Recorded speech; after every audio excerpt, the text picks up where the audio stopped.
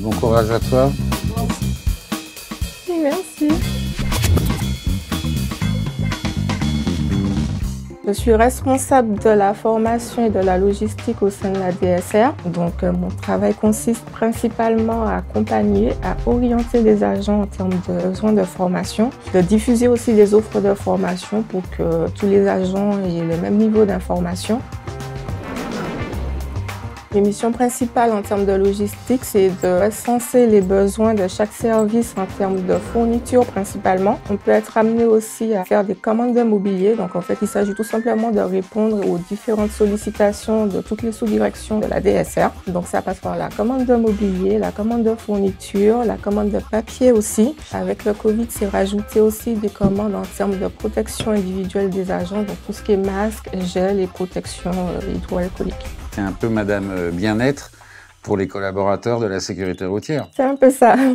Il faut vraiment veiller à ce que les agents soient, travaillent dans de bonnes conditions, donc qu'il y ait le matériel adéquat. Il faut faire attention aussi aux agents qui ont des besoins particuliers, qui sont en situation de handicap, qui peuvent demander un matériel euh, plus approprié euh, par rapport à leur handicap. Tu, connais tout le monde Oui, oui, de manière générale, oui. Il faut savoir qu'on a un site à Logne qui est rattaché à la, DSR, mais qui n'est pas, qui est situé à Logne. Et du coup, il faut pouvoir aussi répondre à ses besoins et aux demandes des agents. Qu'est-ce qui te plaît le plus?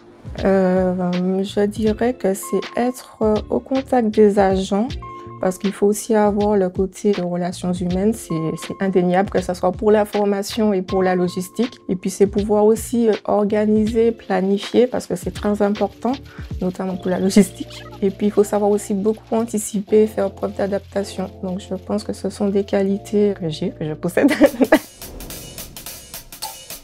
ça serait un peu comme une journée sans électricité.